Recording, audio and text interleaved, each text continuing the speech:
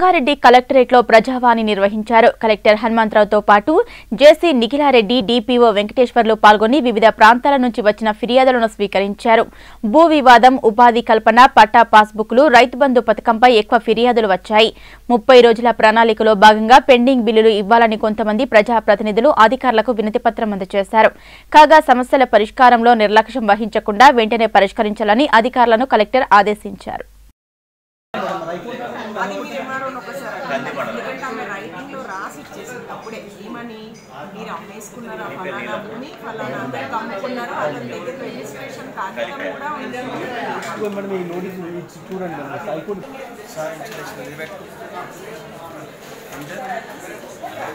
బాబు ఇస్తాం ఇంతకుముందు కూడా వచ్చావు చెప్పాము కూడా అదే నీ ర్యాంక్ ఎంత ఉంది